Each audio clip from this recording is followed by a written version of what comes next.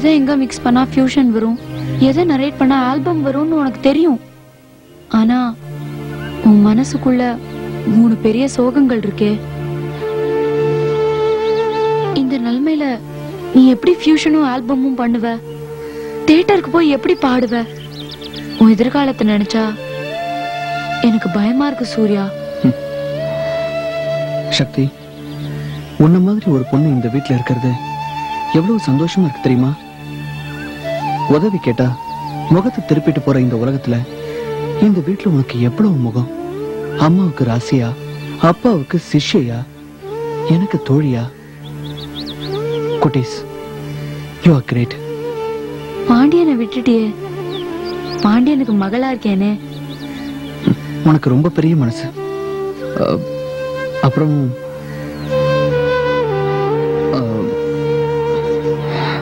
சொல்லு சூர்யா. என்ன செய்யணும்? குட்டீஸ் எனக்காக ஒரு பெரிய உதவி செய்யணும். என்ன உதவி? சொல்லு. நீ கேட்டு நான் எதை செய்ய மாட்டேன்னு சொல்லிருக்கேன் தயங்காம கேளு. நான் என்ன செய்யணும்? நீ எனக்காக நீ சாக முடியுமா?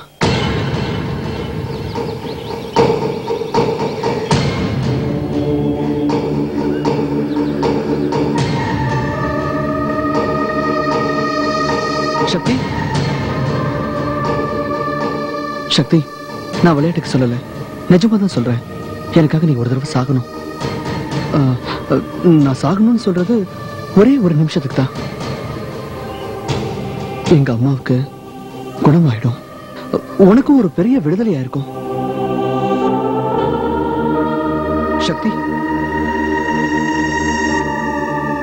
எங்க அம்மா ராசி இருந்ததை கேட்ட உடனே மயங்கிட்டாங்க. கண்ணு முழிச்சப்போ ராசியுடைய எல்லா காரியமும் முடிஞ்சு போச்சு. ஒருவேளை அவங்க ராசியுடைய உடலை பார்த்திருந்தாங்கன்னா இந்த நிலைமைக்கு ஆளாகி இருக்க மாட்டாங்க இல்லையா?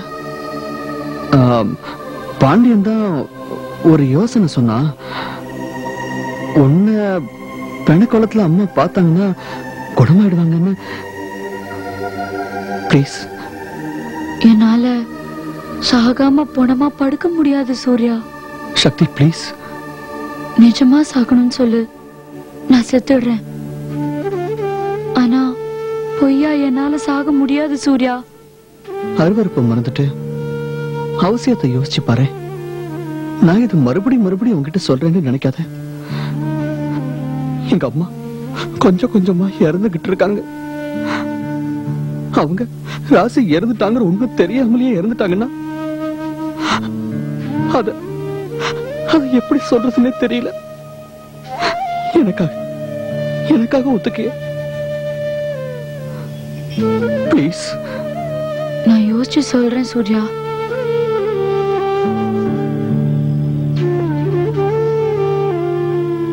பைரவியை குணப்படுத்துறேங்கிறத விட என்ன வாழ வைக்கிறேன் அதுதான் உண்மை.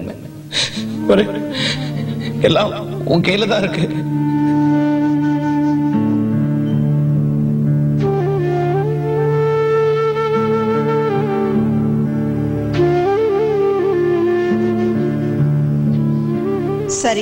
குழந்தை அழப்போகுது குழந்தைக்கு எடுத்து விடு. தாய்ப்பால் குடுடி.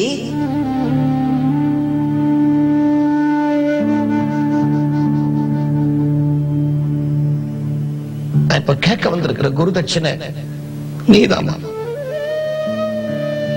என் சந்ததியா நீ வரணும்? மகளா மருமகளாங்கிறத அந்த தெய்வம் முடிவு பண்ணிட்டு என் மனைவிக்கு சேவகையாகவும் வரணும். வருவியா?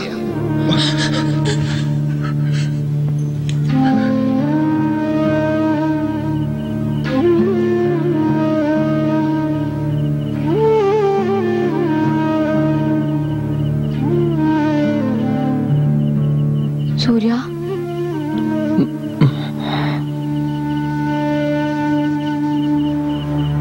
நீ சொன்னதுக்கு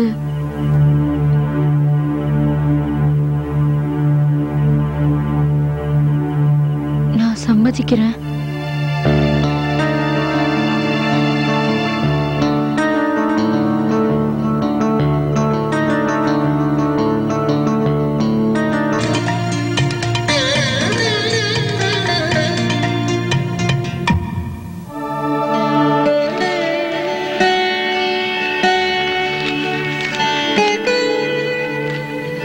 என்னம்மா? வேண்டுதல் பலமா இருக்கு? மஞ்சள் துணியில காணிக்கை வச்சு முடிச்சு போட்டு வைக்கிற அளவுக்கு அப்படி என்ன வேண்டுதல்? ஒரு பரிசோதனையில ஜெயிக்கணும் சித்தப்பா. பரிசோதனையா? என்னம்மா பரிசோதனை? பைரவியத்தை என்ன ராசி ராசின்னு கூப்பிடுறாங்கல்ல. அதை நிறுத்த பாண்டியன் சூர்யா சங்கரலிங்கம் தாத்தா எல்லாரும் சேர்ந்து பைரவியத்தைக்கு தெரியாம ஒரு முடிவு எடுத்திருக்காங்க. நான் பொணமா படுத்திருந்தா என்ன அந்த கோலத்துல பைரவியத்தை பார்த்தாங்கன்னா அவங்க தெளிஞ்சிருவாங்கன்னு ஒரு நம்பிக்கை. அந்த நம்பிக்கையில தூக்கி மண்ணை போடுமா? அந்த ஜேகேபி இங்க பரதேசம் போயிட்டான். அவனை தேடி கண்டுபிடிக்கிறத விட்டுட்டு இதெல்லாம் என்னமா பெரிய நம்பிக்கை? நான் இதுக்கு ஒத்துக்க மாட்டேன். நீங்க எதுக்கு சித்தப்பா ஒத்துக்கணும்? நான் ஒத்துக்கிட்டா போதாதா? உனக்கு ஒண்ணும் தெரியாதுமா? நீ வாழ வேண்டிய பொண்ணு. நீலாம் அந்த மாதிரி கோலத்துல படுக்க கூடாது. அன்னைக்கு ஜேகேபி மாமா என் கைய புடிச்சிட்டு இது என் குருதட்சணைன்னு சொன்னார்ல. இது என் குருவுக்கு செய்யற குருதட்சணை சித்தப்பா. உன் குருவே எங்கன்னு தெரியல. அப்புறம் குருவுக்கு என்ன தட்சணை வேண்டியிருக்கு? நீ எதுக்காகமா பணமா படுக்கணும்? வளர்ந்து தாடியோட சுத்திட்டு இருக்கான அந்த சூர்யா. அவன வேணா பணமா படுக்க சொல்லு. அதை பார்த்துட்டு பைரவி குணமாகட்டும். வேண்டாம். ராசி போல சூர்யாவை மறந்துட்டு அந்த பாண்டியனை சூர்யா சூர்யான்னு கூப்பிட்டுட்டோம் ஏன் சித்தப்பா இப்படி எல்லாம் பேசுறீங்க? அந்த ஜேகேபி என்ன செஞ்சான் தெரியுமா? பாதி பந்தியில என்ன கையை தூக்கி விட்டான். நான் பிறக்கறதுக்கு முன்னாடி சண்டை போட்டீங்க. பாவம். அவர் எங்க எப்படி இருக்காருன்னு தெரியல. இந்த வீட்டுக்கு நான் செய்ய வேண்டிய கடமை எவ்வளவு இருக்கோ அதே கடமை நிரந்தரமா நான் வாழ போற வீட்டுக்கும் செய்ய வேண்டியிருக்கு. நிரந்தரமா வாழ போறியா? அப்போ சங்கரி இதுக்கு உடந்தியா? நான் அவகிட்ட பேசிக்கிறேன். சங்கரி அம்மாட்ட ஒன்னும் கேட்க வேணாம் சித்தப்பா. அவங்க பாவம். ஏற்கனவே அண்ணனை காணுங்கிற வருத்தத்துல இருக்காங்க. இந்த வேண்டுதெல்லாம் அவங்களுக்கு தெரியாது. தெரியவும் வேண்டாம். தெரிஞ்சாலும் அவ இதை தடுக்க மாட்டா. எப்படி தடுக்கணும்னு எனக்கு தெரியும். நான் பாத்துக்கிறேன்.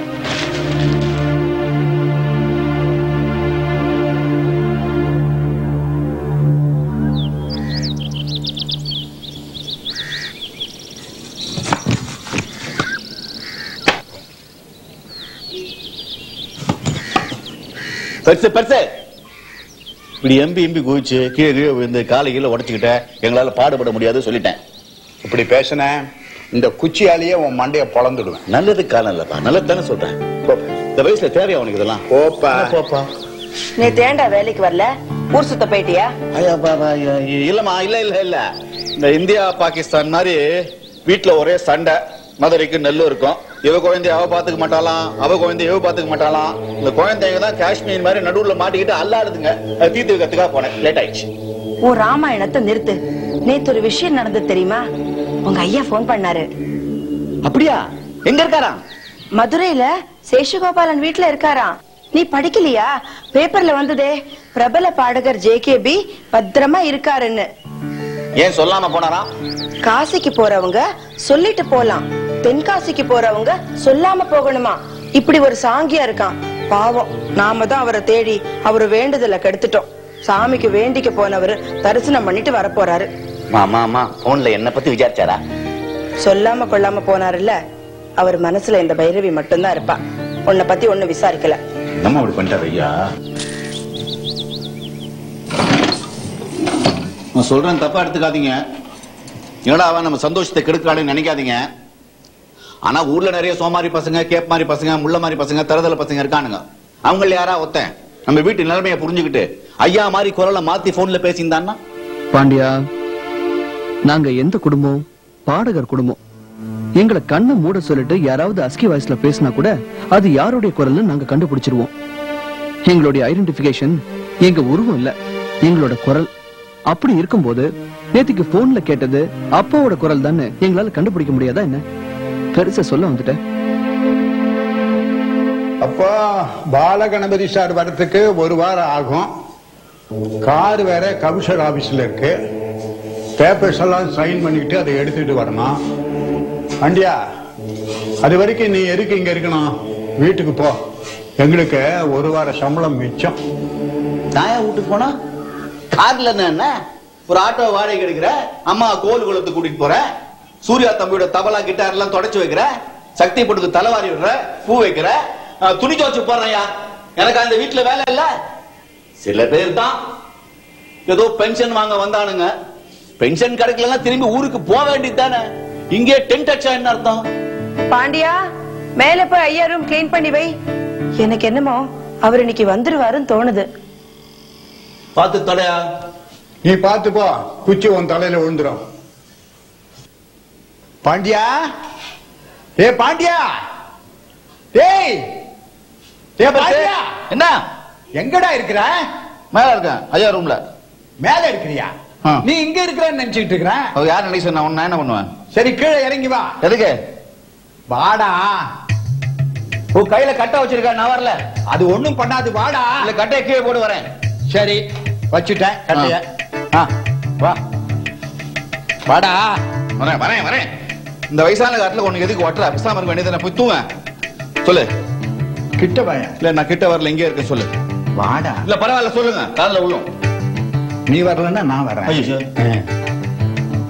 பாண்டியா இத்தனை நாள் நான் உன்னை ஒரு திருடன் தான் நினைச்சுக்கிட்டு இருந்தேன். இப்பதான் தெரியுது நீ ஒரு பெரிய நடிகன் எனக்கு புரியல. புரியும்படி சொல்லு. சொல்றேன். எரிய நெருப்புல எண்ணெயை ஊத்துற காலத்துல நீ தண்ணிய தெளிச்சிருக்கிற. உன்ன மாதிரி ஒரு நல்ல மனுஷனை இந்த உலகத்திலேயே பார்க்க முடியாதுப்பா. இல்ல நீ இப்ப புகையறியா திட்டுறியா தெரியலையே. நீ தங்கமான மனுஷன். புகையற? கீழே திட்டின மேல புகையற? எனக்கு நம்ப முடியலையே. ரகசியமா செஞ்ச காரியத்தை ரகசியமா தானே பாராட்டணும். நீ எங்க வர? நீ எங்க இருந்து போன் பண்ணியோ அங்கதான் வர்றேன். போனா? என்ன என்ன உளற பெத்து? போன்ல நான் பண்ணல? நீ போயிட்ட? நான் உன்னை விட்டுருவேனா? பாண்டியா.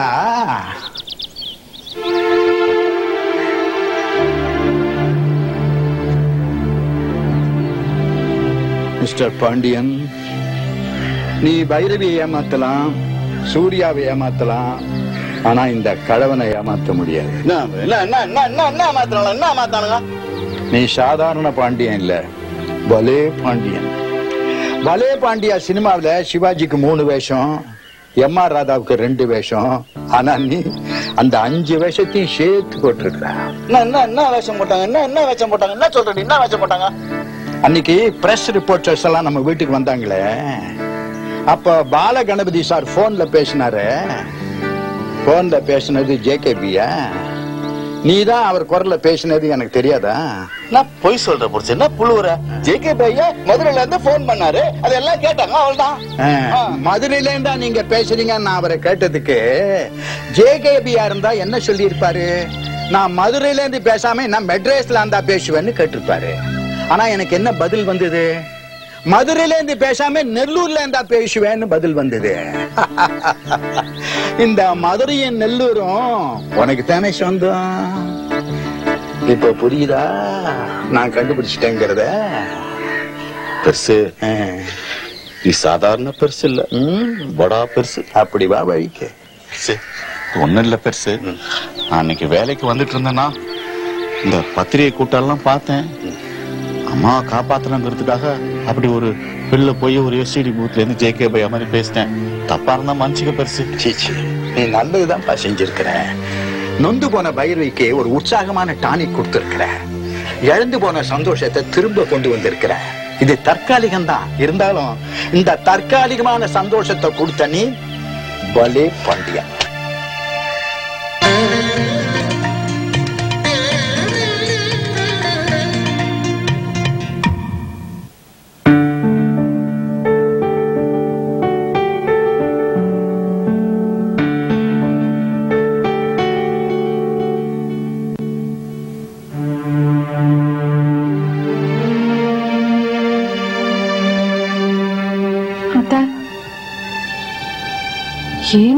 பார்த்தாலும் எதையோ பறி கொடுத்த மாதிரி உட்காந்துட்டு இருக்கிறீங்க எனக்குன்னு இருந்த ஒரே உறவு எங்க அண்ணன் தான். அவர் எனக்கு அண்ணன் மட்டும் இல்ல என் மனசாட்சி மாதிரி. என்னோட எல்லா பிரச்சனைக்குமே அவர்தான் சரியான முடிவு கொடுப்பார். அவருக்கும் என் புருஷனுக்கும் எப்ப பாரு சண்டை இருந்துட்டே இருக்கும். ஆனா அந்த சண்டை எங்களுக்குள்ள ஒரு நெருக்கத்தை ஏற்படுத்திச்சே தவிர விரிசலை ஏற்படுத்தினதே இல்ல. இங்க வந்து குளிச்சிட்டு சாப்பிட்டு போன மனுஷனை காணலன்னா என்ன அர்த்தம்? நான் தான் சாப்பாடு பரிமாறினேன். எவ்வளவு பாசமா பேசினார் தெரியுமா? என்ற ஊர் உறவை பத்தி எல்லாம் கூட விசாரிச்சாரு. என்னை பார்த்து செத்து போன ராசியை நீ ஞாபகப்படுத்துறேன்னு கூட சொன்னாரு. முன்ன பின்ன தெரியாத எனக்கே அவர் பாசத்துலயும் பேச்சிலுமே ஒரு தகப்பனை பாக்குற மாதிரி இருந்தது. அவங்க கூட பிறந்தவங்க நீங்க. உங்க மனசு எவ்வளவு வேதனைப்படும். என்ன மன வருத்தம்னு யார்கிட்டயுமே சொல்லாம போயிட்டாரு போனா ஒரு வார்த்தை சொல்லியிருந்தா ஏதாவது ஒரு வழி சொல்லிருப்போம்ல அவரோட வருத்தத்தை சொன்னா எங்க பாதகம் பாதிப்பும் ஏற்படுமான்னு சொல்லாம இருக்கலாம் இல்லையா? முதுகு தாங்குற அளவுக்கு கனத்தை சுமந்துடலாம் ஆனா சொல்லவும் முடியாம நிலவும் முடியாம மனசு ரகசியத்தை சுமக்கிற மாதிரி கஷ்டம் உலகத்திலேயே இருக்க முடியாது.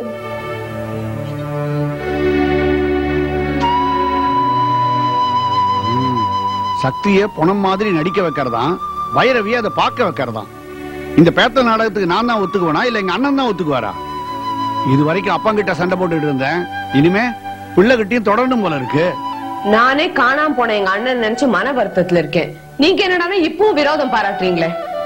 அவர் விரோதம் பாராட்டிங்கத்த பாஸ்த காட்டு தெரியல அவ்வளவுதானுங்க ஏனுங்க மாமா டிஃபன் சாப்பிட்டீங்களா? பரவாயில்லம்மா வேண்டாம். பட்னி அனுப்புறது பாவங்க மாமா. கொஞ்சம் இருங்க சாமி கும்பிட்டு வந்து நானே டிஃபன் செஞ்சு தரேங்க. அத்தை நீங்க நல்லா ரெஸ்ட் எடுத்துக்கோங்க.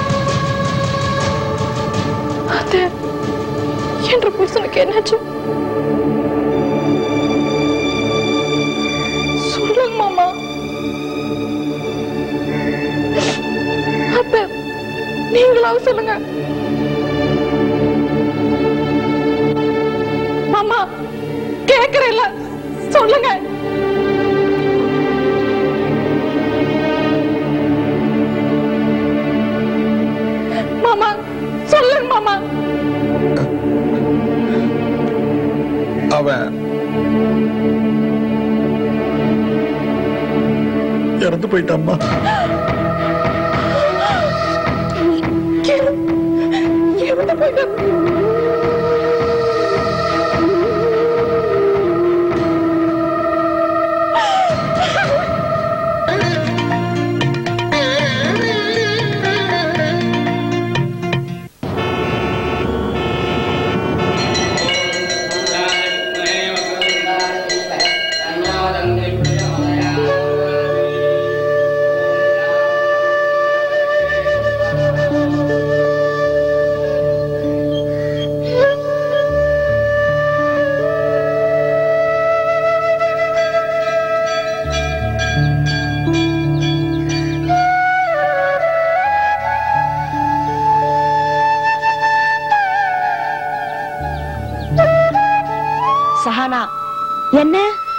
இங்க வா. எதுக்கு? வா இங்க. என்ன? கோயில இப்படி சுத்த கூடாது இப்படி வலப்புறமா சுத்தணும். சாமி சொல்லுச்சா? இல்ல நீங்களா சொல்றீங்களா? அதாம்மா ஐதீகம். அதனாலதான் சொல்றேன். எதுக்கு எடுத்தாலும் கருத்து சொல்லாதீங்க. இப்படி அடிக்கடி கருத்து சொல்றதுனால தான் நான் உங்களை மீட் பண்றதை அவாய்ட் பண்ணிட்டு இருக்கேன் அதான் அன்னைக்கு வீட்டுக்கு வந்தியே. அப்புறம் என்ன இன்னமும் கோவம்? அது மியூசிக்ல டவுட் இருந்தது. அதை கேட்கறதுக்கு வந்தேன். சரி. இங்க என்ன டவுட் சாமியை பார்க்க வந்தேன் கோயிலுக்கு வந்ததுனால உங்களை பார்க்க வந்தேன்னு நினைச்சுக்காதீங்க. சரிம்மா என்ன பார்க்க வராத பொண்ணுகிட்ட நான் ஏன் வழிய போய் பேசணும்? சுத்துறதா சுத்துற வலப்புறமா சுத்து.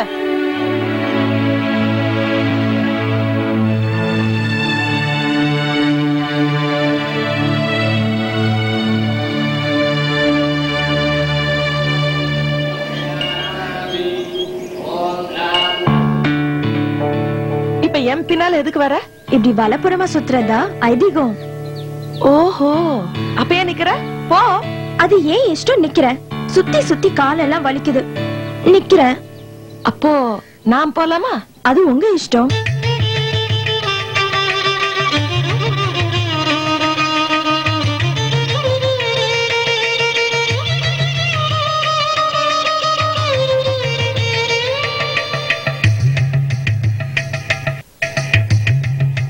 பாட்டு பாடுறவங்க. சாமி பேர்ல ஒரு பாட்டு பாடலாம்ல?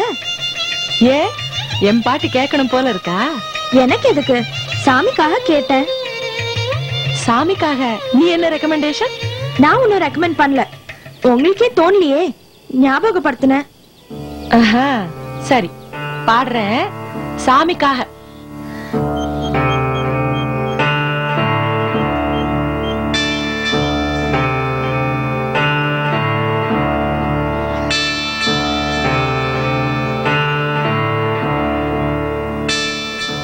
சொன்னீங்க? பாடிட்டு தான் இருக்கேன். சாமிக்கு பாடுறேன்ல மனசுக்குள்ளேயே பாடுறேன். அது அவருக்கு கேட்கும் வாய் விட்டு பாடினா எல்லாரும் கேட்கலாம்ல? எல்லாரும்னா? எல்லாரும்னா பக்தர்கள் எல்லாரும். இப்ப என்ன? நான் பாடணுமா? உனக்காக வேணா நான் பாடுறேன். ஆனா நீ சொல்லணும். உங்க பாட்டை கேட்க நான் ஆசைப்படுறேன். எனக்காக ஒரே ஒரு பாட்டு பாடுங்க. உங்களை பார்க்கத்தான் நான் இங்க வந்தேன்னு உண்மையை ஒத்துக்கணும். அப்படின்னா பாடுறேன். இல்லைன்னா மாட்டேன். ஆமா உங்களை பார்க்க தான் வந்தேன். வீட்டுக்கு போனேன் வீடு பூட்டி இருந்தது. அதான் கோயிலுக்கு வந்தேன். எனக்கு கோயில் சாமி எல்லாம் பழக்கப்படுத்தினது. நீங்க தான் இதையெல்லாம் தாண்டி எனக்குள்ள இன்னும் அம்மா இருக்கா? இந்த நாள் நாள நான் எவ்வளவு துடிச்சு போயிட்டேன் தெரியுமா? உங்க மேல கோபம் இருக்கு இன்னும் இருக்கு. அது வேற. அந்த கோபத்துக்கு சம்பந்தம் இல்லாம அன்பு இருக்கு.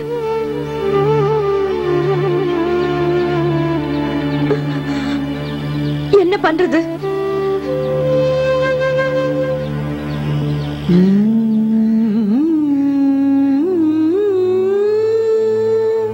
ஸ்ரீனிவாச திருவேங்கடமுடையாய். ஸ்ரீனிவாச திருவேங்கடமுடையாய். ஜெய கோவிந்த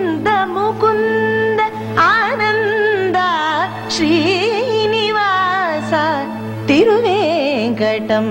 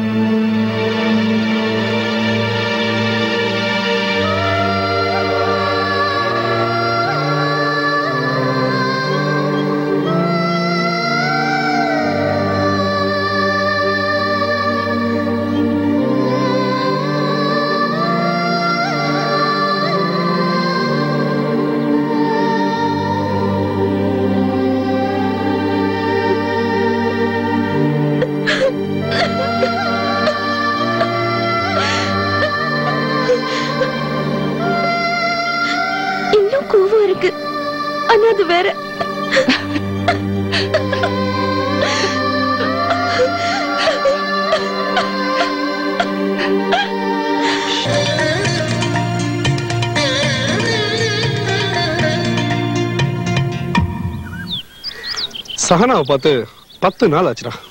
டேய் நீ இன்னுமா சகனா போட்டோ வச்சுக்கிட்டு இருக்க? ஹே நேரம் கணக்க நேர் பண்ணிருப்ப அப்படின்னு நினைச்சேன். நீ இவகிட்ட தோத்துட்டியா? இல்லடா. இவன் என்ன ஜெயிச்சிட்டான்னு சொல்றதுதான் கரெக்ட் நான் இவளை கல்யாணம் பண்ணிக்க போறேன். நீ தினம் ஒரு பொண்ணு தினம் ஒரு வாழ்க்கைன்னு வாழுறவன். உனக்கு கல்யாணம்னா எப்படிடா நம்புறது? எனக்கே புரியலடா. என்னையே என்னால நம்ப முடியல. நிறைய மாறிட்டேன்டா மது. சஹனாவை தவிர வேற எந்த பொண்ணையும் நினைச்சு கூட பார்க்க முடியல. ஐ ஸ்டார்ட் லவ்விங் ஹர் ம். ஒரு வேதாளம் வேதாந்தம் பேசும்போது எப்படி நம்புறது? நான் நம்ப தயாரா இல்ல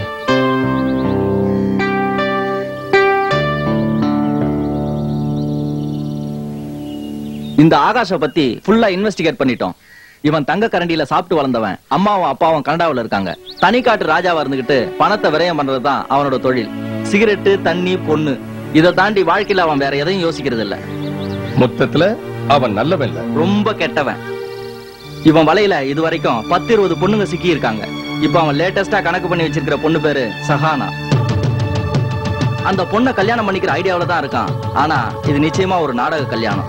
சஹானாவை ஏமாத்துறதுக்காக ஏற்பாடு பண்ணப்பட்ட கல்யாணம். Thank you for your information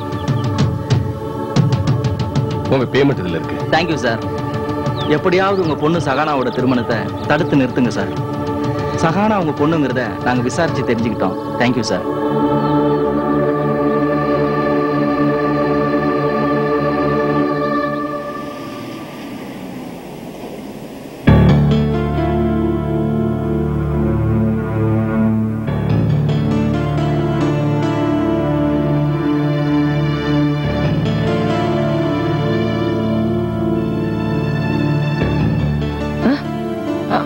Sivanesan. வாங்க.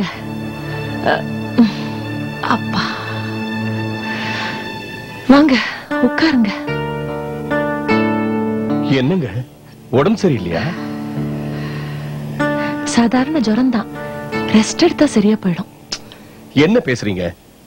உங்க உடம்பு அனலா கொதிக்குதுன்னு முகத்திலேயே தெரியுதே. டாக்டரை பாத்தீங்களா இந்த சின்ன காய்ச்சல் தலைவலிக்கெல்லாம் நான் டாக்டரை பார்க்குற வழக்கம் இல்ல only self medication and meditation that's all ஒரு நாள்ல சரியா போயிடும். இப்ப ஏதாவது சாப்பிடுறீங்களா? ஒண்ணும் வேணாம். அப்புறமா சாப்பிடுறேன். அது தலைவலி இருக்கிறதுனால பசி இல்ல. என்னோட ஃபேமிலி டாக்டர் இருக்காரு. அவரை கூட்டு வரட்டா? இது சாதாரண ஜுரம் தாங்க. இதுக்கு போய் இவ்வளவு பதட்டப்படுறீங்களே நீங்க. வந்த விஷயத்த சொல்லுங்க. அதெல்லாம் அப்புறம் பேசிக்கலாங்க. ஒரு நிமிஷம் இருங்க. நான் உள்ள போய் காஃபி போட்டு எடுத்துட்டு வரேன். ஐயோ காஃபி எல்லாம் போட வேணாம். அங்க பிளாஸ்க்ல நான் ஹார்லிக்ஸ் கலந்து வச்சிருக்கேன். இஃப் யூ டோன்ட் மைண்ட் அதை மட்டும் கொஞ்சம் எடுத்துட்டு வர முடியுமா? ஷூர்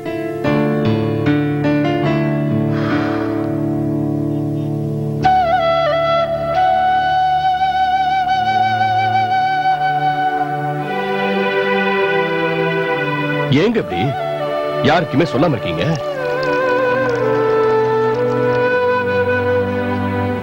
ஒரு போன் பண்ணிருக்கலாம்ல?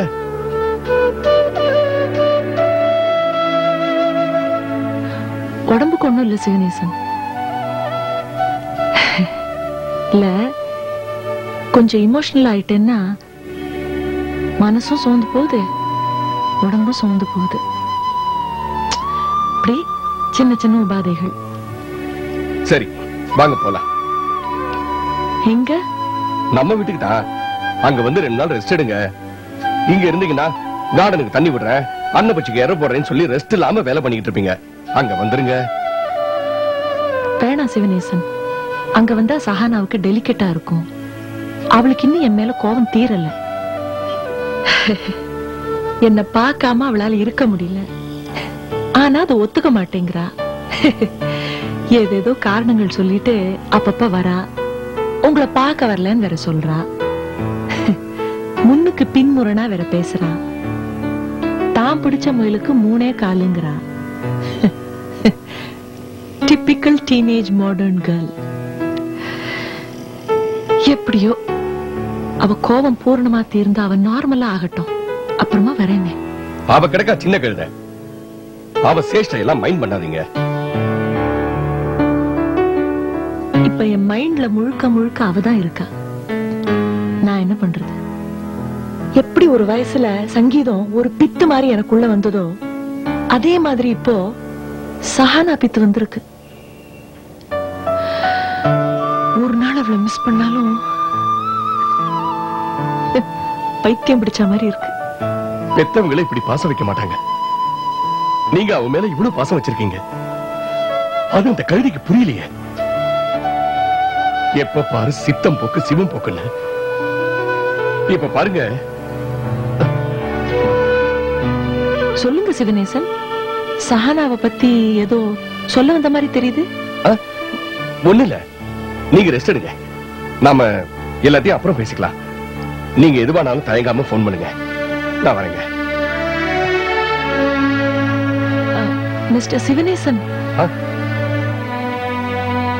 சஹனாவ நான் ரொம்ப விசாரிச்சுதான் சொல்லுங்க.